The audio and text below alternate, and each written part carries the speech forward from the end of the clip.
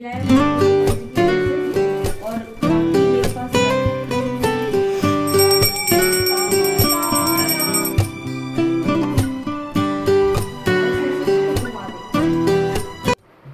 सभी दोस्तों को नवरात्रि की ढेर सारी शुभकामनाएँ और ये नवरात्रि आपके जीवन में ढेर सारी खुशियाँ लेके आए।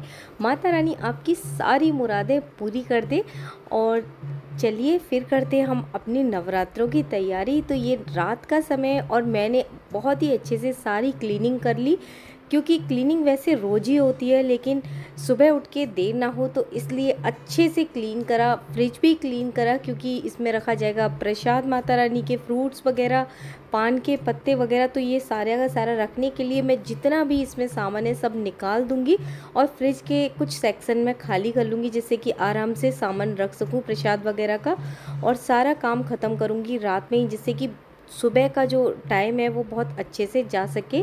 तो ये लीजिए आ गया हमारा नवरात्रों का दिन और मैं नहा के किचन में आ गई हूँ। और अब मैं बनाऊँगी सबसे पहले चाय। तो मंदिर तो मैं खोल आई हूँ, दर्शन कराई माता रानी के। लेकिन अब सबसे पहले चाय पी लूँ, जिससे कि एनर्जी आ जाए पूरे दिन काम करने की। तो सबसे पहले हम चाय बनाएँगे और चाय पीने के बाद मैं आपसे मिलती हूँ बहुत ही जल्दी। ये लाए लड्डू गोपाल जी की ड्रेसेस ये ये तीन लड्डू गोपाल जी की, ये हो गई हमारी माता की चुंदरी, ये वाली, ये दुर्गा माता की है और ये गौरी माता की।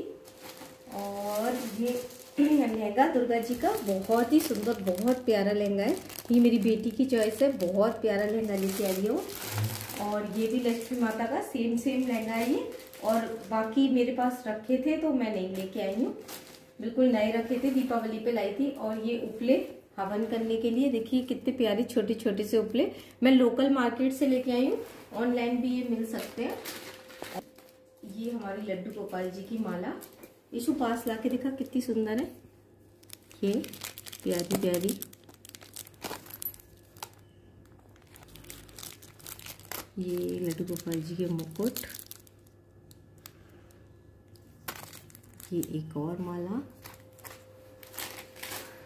और ये जौ जो हम बोएँगे, सुपारी और ये लौंग, इलायची, इससे प्रसाद लगेगा माता का। पान के पत्ते भी मैं लेके आई हूँ।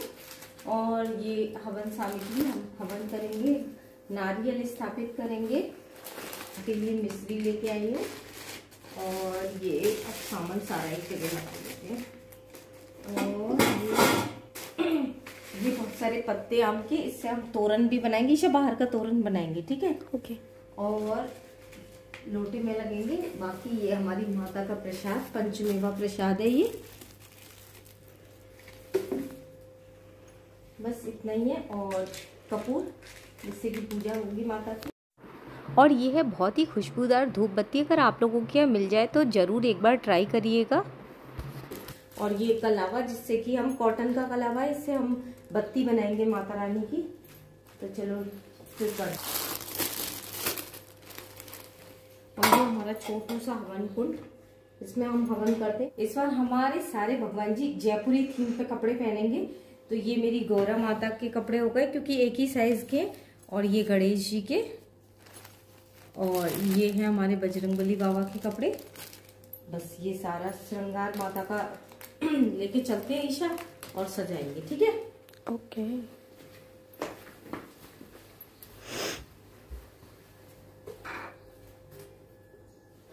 अब माता का आसन बड़ा सा लगाएँगे ना। अब इस पे भी माता को ऐसे बिठा लेंगे। ऐसे। सुंदर लग रही है ना? हाँ। है ना? हाँ।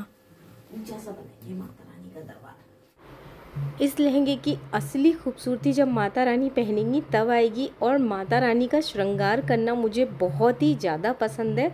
तो मैं एकदम खो जाती हूँ जब श्रृंगार करती हूँ इनका और टाइम का भी मुझे पता नहीं लगता, मैं आराम से इनको सजाती रहती हूँ।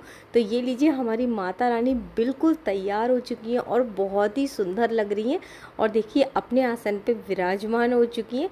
तो ये तो हमारी दुर्गा माता हैं जो कि बिल्कुल तैयार हो गई हैं। अब मैं करूँगी गौरा माता को तैयार, जो कि पूरा परिवार है शिव जी का, गौरा माता और शंकर जी और गणेश जी।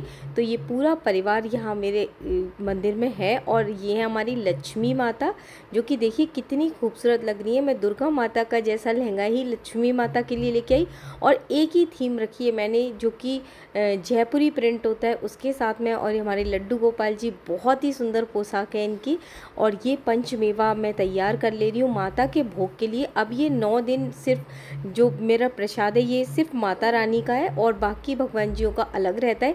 ये पंचमेवा प्रसाद मैं भगवान जी के लिए बनाऊँगी और ये नारियल है, जिसे कि कट करके इसमें मिलाऊँगी।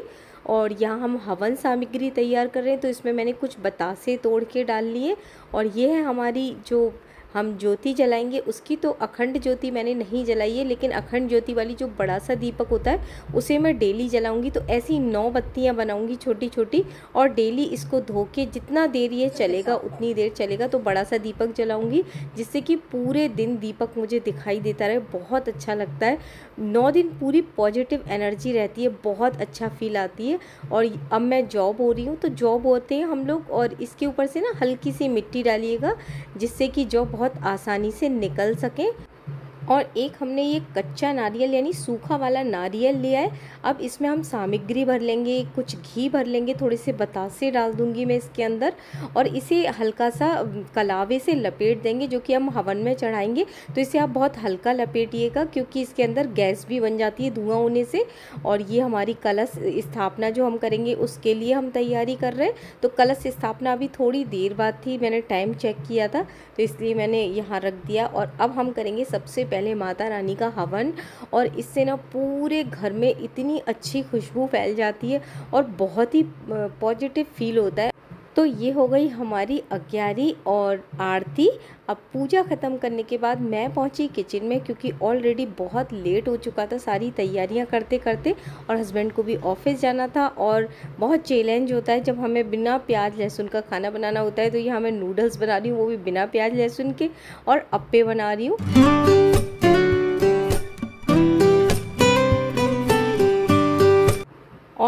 ख़त्म करने के बाद जब मैं थक गई थी तो मेरी बेटी को मुझ पर दया आ गई और उसने सोचा, मम्मी को एनर्जी तभी मिलेगी जबकि उन्हें चाय मिलेगी।